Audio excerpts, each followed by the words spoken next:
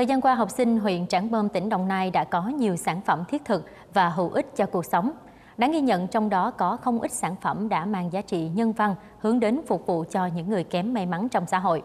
Vâng, và bản tuần hoàn hóa học tăng cường trải nghiệm và hỗ trợ học sinh khiếm thị học tập của các thành viên câu lạc bộ ươm mầm khoa học kỹ thuật trường Trung học phổ thông Thống nhất A huyện Trảng Bom, Đồng Nai là một sáng chế điển hình.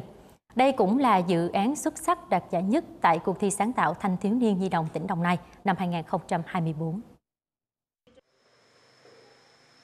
Bản tuần hoàn hóa học tăng cường trải nghiệm và hỗ trợ học sinh khiếm thị học tập được thiết kế với hai biên dạng là bản tuần hoàn hóa học 3D dạng đĩa xoay và bản tuần hoàn hóa học cá mập hổ.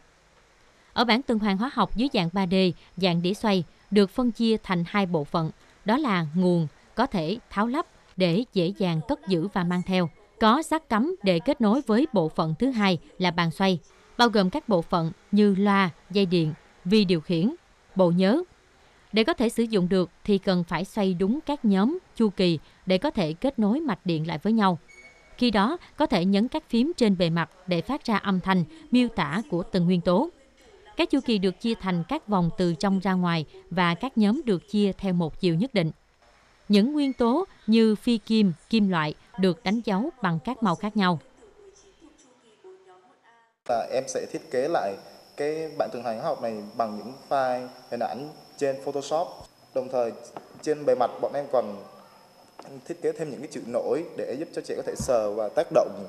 và có thể cảm nhận thông qua xúc giác. Bản tường hóa học dạng 3D Rubik vòng tròn xoay này có thể giúp cho trẻ kiếm thị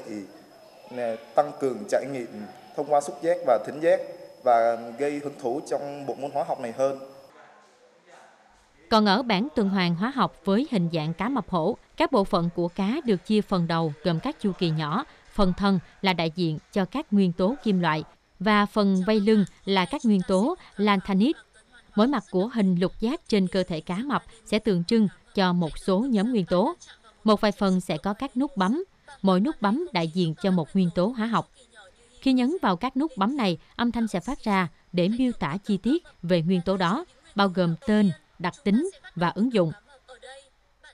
Bọn em tích hợp công nghệ âm thanh vào và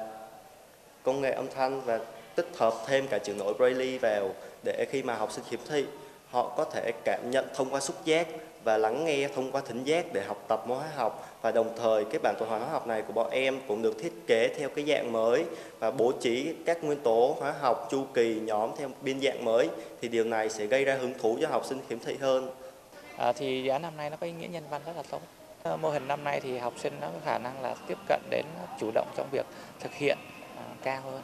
tại vì nó nó cũng không phải là quá cồng cần như một dự án cơ khí, hoặc là một, hay là quá phức tạp như con robot. Nó chỉ là một cái sản phẩm mô hình học tập nên các em có khả năng tiếp cận và vận dụng nó và thực hiện nó rất là tốt hơn.